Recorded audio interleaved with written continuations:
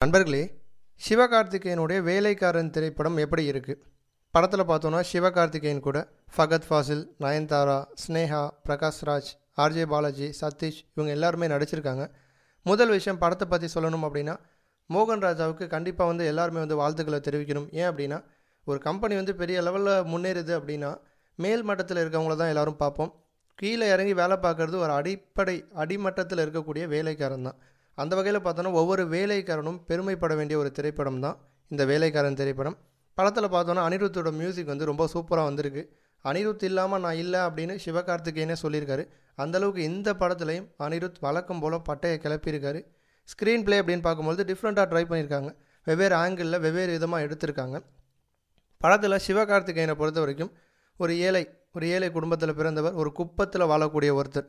அவர் வந்து வேலைக்காக வந்து ஒரு உணவு ஃபுட் ஃபேக்ட்ரிக்கு வந்து போகிறாரு அங்கே போகும்போது அங்கே நடக்கக்கூடிய ஊழல்லாம் பார்க்குறாரு அதெல்லாம் பார்த்து அவரால் வந்து அதை எதிர்க்க நினைக்கிறாரு. அவரால் வந்து அது முடியலை. அப்போ தான் சிவகார்த்திகேயன் நயன்தாராவோட உதவியை தேடுறாரு. நயன்தாரா மீடியாவில் இருக்கவங்க. அவங்களோட உதவியோடு தான் அந்த கார்ப்பரேட் உலகத்தை எதிர்க்கிறாரு சிவகார்த்திகேயன். பொதுவாக இந்த மாதிரி ஒருத்தவங்க வெளியில் வராங்க அப்படின்னா அவங்களுக்கு ஆதரவாகவும் அவங்களுக்கு எதிராகவும் நிறையா மீம்ஸ்லாம் போடுவாங்க. வழக்கமாக நடைமுறையில் அந்த மாதிரி தான் நடக்கும். அந்த மாதிரி வந்து நயன்தாராவுக்கு எதிராக கூட மீம்ஸ்லாம் வந்து போடுற மாதிரி காட்சிகள்லாம் வந்து வச்சுருக்காங்க.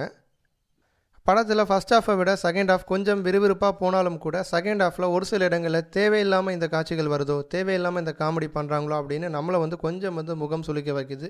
மற்றபடி ரோபோ சங்கர் சதீஷ் இவங்களுடைய காமெடி வந்து ரொம்பவே சூப்பராக ஒர்க் அவுட் ஆகிருக்கு அடுத்ததாக பார்த்தோம் அப்படின்னா பிரகாஷ்ராஜ் அவர் வந்து சும்மா கட்ட பஞ்சாயத்து பண்ணிவிட்டு லோக்கல் ரவுடி மாதிரி இருக்கக்கூடியவர். அவருக்கும் சிவகார்த்திகேயனும் ஏற்கனவே பல பிரச்சனைகள் இருக்குது சிவகார்த்திகேயன் கார்ப்பரேட் உலகத்தை எதிர்க்கும் பொழுது நடுவில் பிரகாஷ் ராஜும் வந்து அவர் பங்குக்கு வந்து நிறையா பிரச்சனைகள் வந்து சிவகார்த்திகேயனுக்கு வந்து கொடுக்குறாரு.